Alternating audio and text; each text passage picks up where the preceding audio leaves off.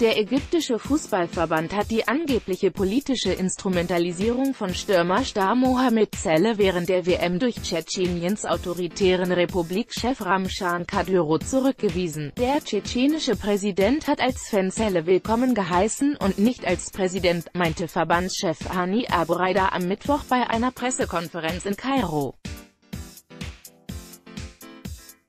Die Tschetschenen sind Moslems und sie haben einen muslimischen Spieler gefeiert, der gut in der Premier League war.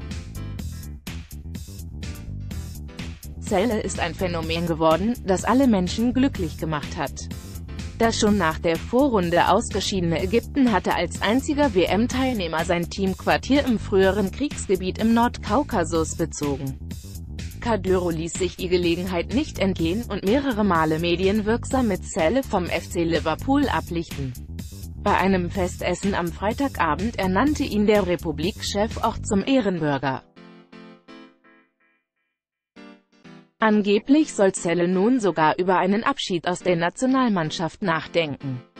Dem 26 Jahre alten Nationalhelden soll missfallen haben, wie er von Kadyrov instrumentalisiert worden sei, wir haben es aber vorgezogen zu bleiben. Verbandschef Abu Raida verteidigte zudem die Wahl des umstrittenen Teamquartiers.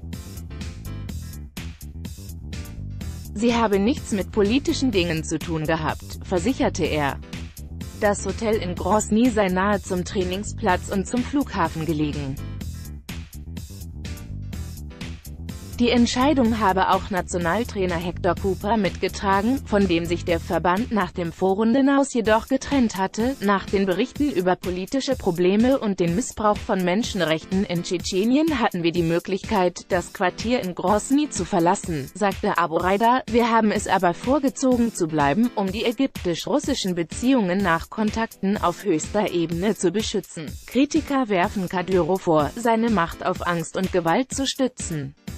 Menschenrechtler bringen ihn mit Mord, Folter und Entführungen in Verbindung. Die FIFA hat uns nicht danach gefragt zu gehen, also sind wir geblieben, sagte Abu Raida zum Thema Teamquartier in Grosny weiter.